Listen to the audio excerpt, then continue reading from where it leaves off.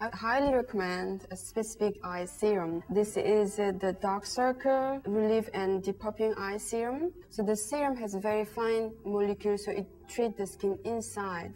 Contain Eyeliss, which is a cocktail of the peptide and glycerin, and then licorice extract. So it's a reduced uh, dark circle and puffiness. One pump in the morning and evening.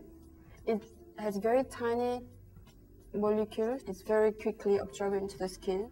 After the apply the eye serum, apply the eye Arabic eye lip gel. It contains the orchid and rose and chamomile.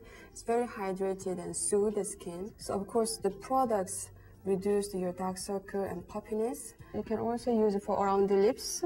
And then the final touch is the instantly radiance. So you can use on the makeup or under the makeup. Gives some brightness so you don't look tired. How do you feel? It feels great. It's very fresh mm-hmm. and hydrated.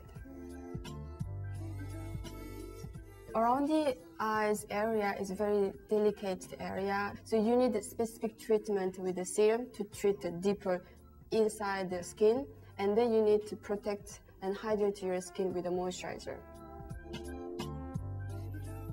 The small dots around the eyes, even upper eyes.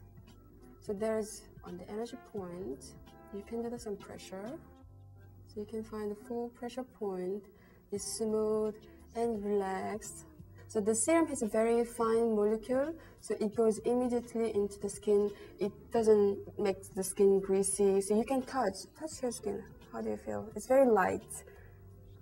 It's very nice. And then on top, you put your eye cream. So you just need a small amount.